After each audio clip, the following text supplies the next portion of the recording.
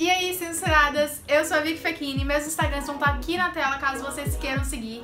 E hoje é terça-feira, dia de hashtag misturadas, ou seja, temos variados, posso falar de tudo, posso surpreender vocês.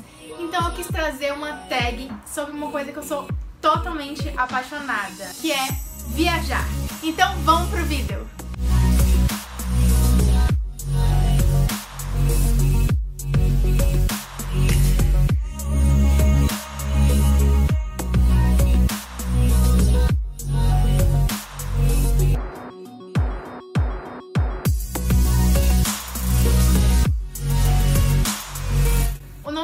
De hoje é Wanderlust, que nada mais é do que o desejo de viajar e o interesse genuíno de conhecer novas culturas, explorar lugares que a gente ainda não conhece, que é uma coisa que eu tenho muito desde sempre, desde que eu me entendo por gente. Eu adaptei um pouco essa tag porque eu achei é, muitas versões diferentes e algumas versões parecidas de outras tags, então eu juntei tudo e tô trazendo entre 15 e 20 perguntas aqui que eu vou responder com vocês. Vamos lá, a primeira pergunta é quando e para onde ia seu primeiro avião? Bom, para responder essa eu precisei da ajuda da minha mãe porque eu realmente não lembrava. Eu tinha uma noção assim mais ou menos de que tinha sido pro Nordeste ou pro Rio, mas eu confirmei com a minha mãe e ela disse que eu ainda era um bebê e que a gente foi para Ilhéus na minha primeira viagem. Provavelmente é porque meus tios e minha prima moravam lá na época, então a gente deve ter ido visitar eles. Segunda pergunta: qual o seu carimbo de passaporte mais queridinho? Cara, meu carimbo preferido não é o do meu lugar preferido. Eu tenho um carimbo muito fofo no meu passaporte, que é de um pinguim, que eu ganhei lá na Patagônia, que é o fim do mundo. Sim, existe esse lugar, fim do mundo. É real. Ele fica lá na Argentina, na pontinha da Argentina. É muito frio, tipo, a gente vê os glaciares, o gelo caindo assim na nossa frente é, lá no Perito Moreno. E eles dão esse carimbo de pinguim muito fofo que eu sou apaixonada até hoje. Eu vou pegar pra mostrar pra vocês. Terceira pergunta é: Você sabe de qual o número do seu passaporte? Olha, atualmente não, porque eu tive que trocar de passaporte, porque eu já tinha dado a validade do meu. Mas o do antigo eu, tipo, super sabia de cor, já falava assim, sem nem precisar olhar. E pretendo fazer isso com o novo também, né? Só preciso de mais um tempo. Gente, aqui, peguei meus passaportes. Eu tenho três atualmente, mas é, em breve eu vou estar com o meu quarto, porque é o meu passaporte de dupla cidadania, tá chegando. E quando chegar eu posso mostrar pra vocês como é o passaporte de dupla cidadania, caso vocês se interessem. Esse aqui foi o meu primeiro, que é o que tem o meu carimbo preferido. Eu tirei em 2006, aqui, no carimbo do pinguim Olha só que lindo. Ele é muito fofo, cara. Eu sou apaixonada por esse carimbo. Não tem nenhum mais bonito que ele. Até então. Aí, esse passaporte venceu e eu tirei esse aqui. Que também já venceu no ano passado. Você pode ver por esses furinhos. Eles indicam que o passaporte não está mais válido. Mas eu ainda tenho que andar com ele porque ele é o que tem o meu visto para os Estados Unidos. Então, se eu for para os Estados Unidos, eu tenho que levar esse junto com o meu passaporte novo. Esse daqui sem os furinhos. E ele eu tirei no ano passado, então ainda não decorei o número. E ainda não tem nenhum carinho. Mas isso vai mudar em breve. E meu sonho é chegar com meu passaportezinho e falar olha, eu preciso de um passaporte novo porque ele encheu de carimbo e não cabe mais eu preciso viajar. Imagina, gente, muito diva, né? Nunca consegui fazer isso, mas quem sabe um dia. Próxima pergunta é: Qual o seu método preferido de viajar? Avião, carro ou trem? Cara, isso aí depende muito. Eu gosto dos três, acho que por motivos diferentes. Tipo, o bom do avião é que ele te possibilita ir pra lugares mais longe e, tipo, em um tempo muito menor. Mas se eu tiver, por exemplo, em um lugar que tem esses três meios de transporte muito fáceis e acessíveis, tipo a Europa, e eu tivesse que sair de uma cidade para outra, eu com certeza não escolheria avião, porque eu ia preferir ir de carro ou de trem que me possibilitaria conhecer mais lugares no caminho, sabe? Eu não ia, tipo, direto do ponto A pro ponto B. Eu ia passando por vários outros pontos até chegar ao meu destino final. Eu acho isso muito legal. Tipo, road trip, ou, tipo, pegar um trem, dormir no trem. Eu acho uma experiência muito interessante também. Próxima pergunta. Você gosta de repetir os lugares que já visitou ou prefere explorar novos lugares? novos com certeza, porque eu sou uma pessoa muito entediada e assim, eu tenho muita vontade de conhecer tudo. Então, meu sonho é dar a volta ao mundo, conhecer vários lugares, inclusive lugares remotos que não são turísticos. Eu tenho, tipo, essa coisa muito forte dentro de mim. E não vou dizer que eu não repetiria lugares, repetiria muitos lugares, inclusive. Mas se eu tiver a oportunidade de ir para lugares que eu não fui ou voltar para lugares que eu já fui, eu vou escolher sempre para lugares novos, né? Wanderlust, conhecer coisas que eu não conheço. Próxima. Você pesquisa sobre os futuros destinos ou não? O tempo inteiro. Eu pesquiso diariamente lugares para ir, lugares que eu não conheço, lugares remotos, é, tudo, cara, tudo. Eu pesquiso, eu sou muito boa em geografia e eu gosto muito de mapas. Então, assim, eu não sei o que vocês fazem no tempo livre de vocês, mas eu fico pesquisando lugares para viajar. Ainda que eu não tenha previsão de ir. A pergunta seguinte é: sites de viagem preferidos? Então, eu não tenho um site de viagem preferido, porque eu gosto de fazer pesquisas em vários lugares para comparar as informações, sabe? Tipo, pegar o melhor de cada. Mas é, eu tenho muitos aplicativos no celular de pesquisar passagens aéreas e hotéis, porque eu fico pensando, vai que surge uma super promoção e aí eu tô sem fazer nada, eu aproveito essa promoção e dou uma viajada, né? Nunca se sabe. Próxima. Qual lugar você recomendaria que seu amigo visitasse? Ah, cara, depende de muita coisa. Depende de que amigo, do estilo dele, do que ele quer fazer, do que ele gosta, de quanto ele pretende gastar. Eu acho que, que depende de tudo, né? Inclusive do tempo que ele vai ter para passar no lugar. Tipo, se for uma viagem de dois dias, tem necessariamente que ser uma coisa dentro do Brasil. Se for uma viagem de mais tempo, às vezes dá pra você ir pro exterior ou algo assim. Mas assim, se eu tivesse que indicar um lugar para as pessoas irem, sem levar em conta nada disso, sabe? Tipo, tempo, dinheiro, quem é a pessoa, enfim, eu indicaria Veneza, porque é uma cidade maravilhosa, fantástica, que não tem igual. E principalmente que tem a chance de sumir, né, em algum tempo. Então talvez a gente não possa mais visitá-la daqui a alguns anos. Melhor aproveitar, não é mesmo? E Veneza é um dos lugares que eu voltaria, inclusive que eu vou voltar, porque realmente é, é coisa de outro mundo, cara. Tipo, você chega em Veneza e você. Nossa, fica sem palavras. E eu sei que tem muita gente que fala, nossa, Veneza fede, Veneza isso, Veneza aquilo. Não tem nada a ver. Pelo menos pra mim e pra todo mundo que tava comigo, não existiu isso. Foi uma viagem incrível, inesquecível. Então eu recomendo muito, vão, é um dos lugares mais bonitos do mundo. Aliás, a Itália inteira é um lugar que vale muito a pena conhecer, tipo, cada cantinho, sabe? Que a Itália é sensacional. A pergunta seguinte é: Você está partindo amanhã, dinheiro não é problema. Amém, Senhor. Onde você gostaria de ir? Ah, vou dar volta ao mundo, né? Dinheiro não é problema, tô de boas. Sério, se eu pudesse, eu daria volta ao mundo, é meu sonho, eu pretendo fazer isso. É, pretendo tirar um ano sabático, conhecer o maior número de lugares que eu puder. Mas, tudo bem, se isso for roubar na pergunta, se eu tiver que realmente escolher um lugar só, eu acho que eu escolheria um lugar que eu não tenho previsão de ir, que é a Austrália.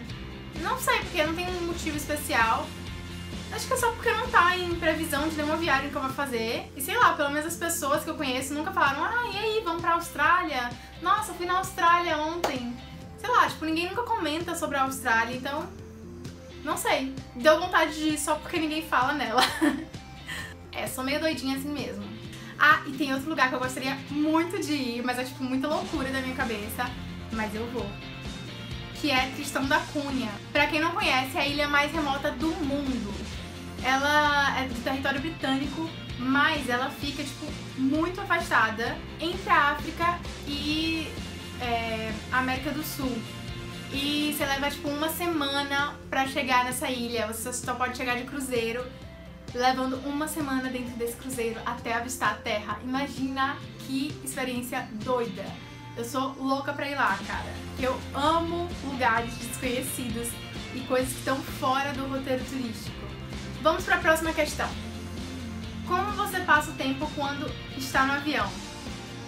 Eu sou uma pessoa extremamente entediada. Então, só de pensar em quantas horas eu vou ter que passar no avião, eu já fico ansiosa. Fico tipo, meu Deus do céu, muito tempo, eu vou ter que ficar lá dentro, não vou poder fazer nada. Eu levo, tipo assim, uma mala só de entretenimento, sabe? Pra viagem. Então, eu coloco aquelas revistinhas super sem futuro de tipo sudoku, palavra cruzada, aquela que idosos adoram, eu amo também.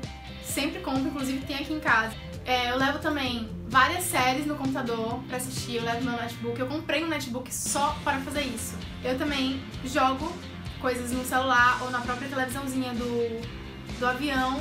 E eu fico tentando fazer com que a pessoa que está ao meu lado não durma. A pessoa que eu conheça, lógico, né? Não desconhecidos. Mas eu fico puxando conversa atrás de conversa para tentar manter a pessoa acordada sem ela perceber. E geralmente eu tenho muita dificuldade de dormir. Então eu entro no avião, duas horas depois todo mundo está tipo roncando lá. Eu olho assim, o avião inteiro dormindo, as luzes já apagadas e eu assim. Ai, odeio, odeio ficar dentro do avião, sério. Mas vamos para a próxima pergunta, que é: Existe algum lugar para onde você nunca mais voltaria? Assim, Acho que não, mas já teve lugar que eu fui e que eu odiei. Tipo, odiei o lugar mesmo, real, porque não tinha nada pra fazer. Eu nem lembro o nome do lugar agora, porque eu acho que eu deletei da minha mente de tão ruim que foi. Mas assim, não vou dizer que eu não voltaria, porque eu acho que, sei lá, eu já sabendo como é, eu acho que eu iria com outro, outra mente, é, tentaria fazer coisas de forma diferente, passar um tempo diferente lá, não sei. Eu acho que eu daria a chance, se fosse necessário, de tentar tornar esse lugar um lugar bom, não sei. É, não vou dizer que eu não voltaria, mas pretendo não voltar. Pergunta seguinte é: qual a melhor viagem que você já fez? Ai, cara, foi tipo uma viagem dupla. Foi a, o melhor ano da minha vida até hoje. Imagina aí, você viajar primeira vez para fora do Brasil e você ir para um lugar que é o sonho de qualquer adolescente, que é a Disney. E também fui para Nova York nessa viagem. Como é que foi isso? É, eu fiz 15 anos e a minha mãe perguntou o que é que eu queria, né? Se eu queria fazer festa, se eu queria viajar. Eu falei, pelo amor de Deus, não faz festa não! Me bota dentro do avião que eu vou achar lindo. E aí ela conversou com a mãe das minhas melhores amigas e elas decidiram que iam mandar a gente pra Disney. E a gente ficou super feliz. A gente foi primeiro pra Nova York com o meu grupo de dança a fazer cursos na Broadway e na Steps Dance Center, que é tipo a Broadway também. Já falei aqui em outro vídeo pra vocês que eu sou bailarina de jazz e dança de rua na Street Dance. E fomos também assistir a musicais, né? Porque, tipo, musical é muito amorzinho. Foi uma vibe muito foda, a gente se divertiu pra caramba. Essas minhas melhores amigas também faziam parte do meu grupo de dança. Então foi uma viagem incrível e Nova York era um lugar que eu tinha o sonho de conhecer, desde pequena. Eu não sei porquê, não tenho um motivo específico, mas eu tinha essa coisa assim de eu preciso conhecer Nova York. Quando eu cheguei lá, meu olho se encheu de lágrimas, eu fiquei muito, muito, muito emocionada. E aí eu voltei pro Brasil, né? Fiquei umas duas semanas aqui e fomos pra Disney com uma agência de viagens, naqueles grupos que eles fazem para adolescentes nas férias. E foi muito foda também. Porque Disney é o sonho de quase todo mundo, né? E assim, vale muito a pena. Tanto que depois eu voltei na Disney, voltaria por mim, moraria na Disney, gente. Disney é vida. E repetiria essas viagens quantas vezes eu pudesse, porque foi incrível. Viajar é um vício, cara. Você não consegue mais viver sem. Real. Como você faz seus roteiros? Agência ou por conta própria? Então, eu gosto de fazer mais por conta própria porque, como eu falei, eu gosto muito de geografia, de mapas e eu gosto muito de conhecer lugares que não estão no roteiro turístico. Então, quanto mais diferente para mim, melhor.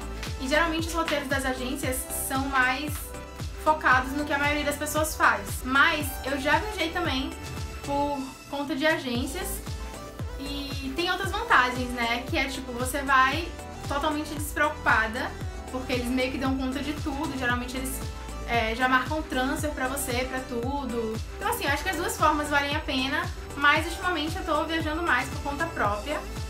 Até porque hoje em dia eu já tenho uma experiência maior em viajar. Antigamente, quando eu não fazia ideia de nada, eu ia muito por agência porque eles me guiavam, né? Tipo, olha, isso aqui é dessa forma, isso faz assim. Eu acho que é uma ótima opção para quem não tem costume de viajar. Mas eu sou apaixonada por planejar, então eu faço meus roteiros mesmo. Inclusive, super teria uma agência de turismo, porque eu acho muito legal fazer roteiro e conhecer lugares. Viaje com amigos, família ou sozinha.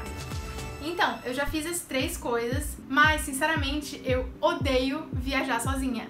Na verdade, eu odeio fazer coisas sozinha. É uma coisa tipo particular minha.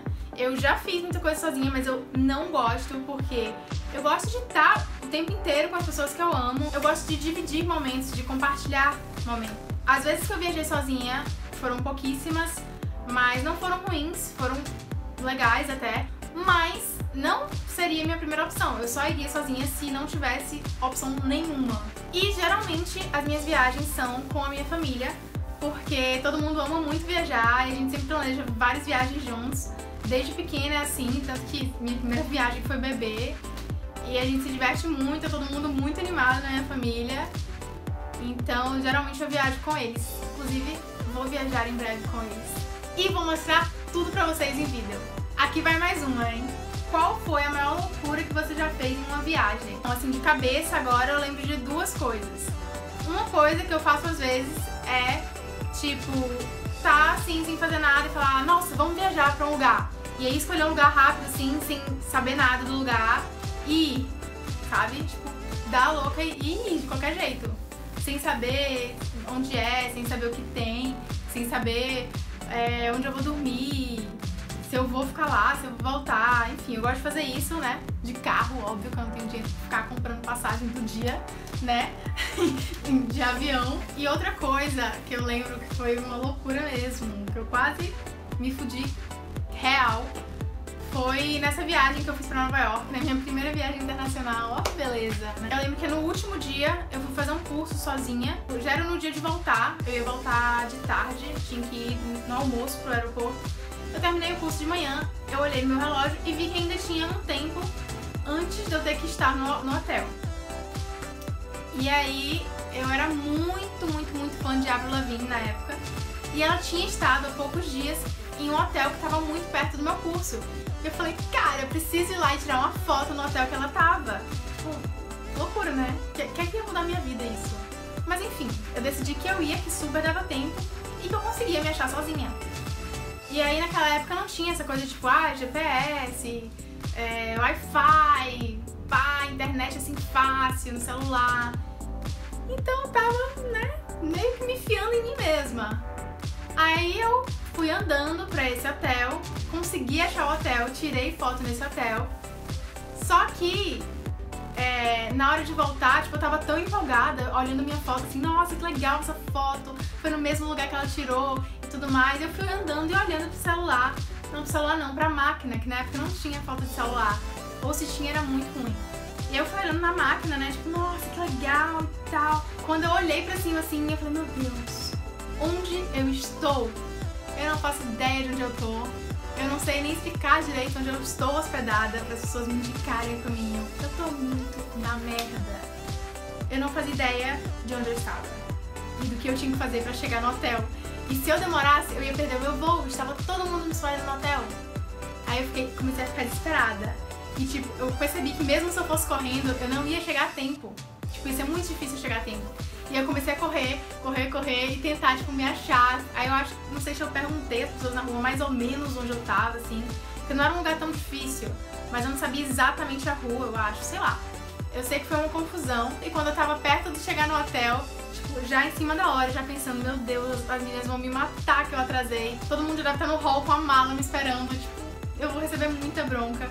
E minha mãe vai ficar muito puta. Aí estavam distribuindo água na rua e eu tava com muita sede porque eu tinha corrido muito. Aí eu peguei umas águas assim, tipo, muito feliz, porque eu tava, tipo, acabada. E no hotel não ia dar tempo de fazer nada. E aí quando eu cheguei assim no hotel, já tava todo mundo no hall. Só que eles estavam fazendo check-out. Aí eu fiquei tipo, ufa, eu não fui motivo de atraso. E aí, tipo, por sorte, já tinha tomado banho lá no curso e já tinha deixado minha mala toda pronta, então, tipo, deu tudo certo. E pra finalizar, três itens essenciais pra você levar em uma viagem. Bom, primeiro com certeza é o celular, porque é uma coisa pequenininha que te dá mil possibilidades, né? Primeiro, o GPS, que você vai precisar muito. Segundo, é a comunicação com as pessoas, né? Você vai poder falar pra sua família que você tá bem, você vai poder tirar dúvidas, pedir ajuda, enfim, várias coisas. Terceiro, porque você pode tirar fotos e fazer vídeos. Quarto, porque tem um bloco de notas, então você pode é, fazer anotações importantes que você achar, ou que você precisa lembrar.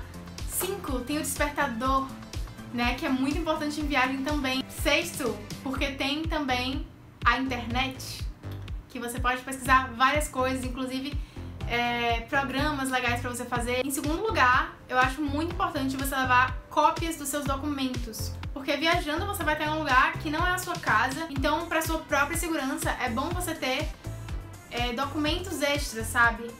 Eu costumo digitalizar os meus documentos, guardar no meu computador e também pegar uma Xerox pra levar comigo na viagem. E daí uma fica na minha mão e uma eu deixo no hotel onde quer que eu, que eu vá ficar. Principalmente se for uma viagem internacional, gente, porque imagina se vocês perdem o passaporte. Aí ferrou tudo. Se você tem uma cópia, isso já facilita muito a sua vida. E o terceiro item essencial, claro, dinheiro, né? Ou um cartão, porque você vai precisar consumir alguma coisa, tipo comida pelo menos, água, seja lá o que for, ou passagem, não sei, entrada em pontos turísticos, whatever. Mas você vai precisar de dinheiro, querendo ou não.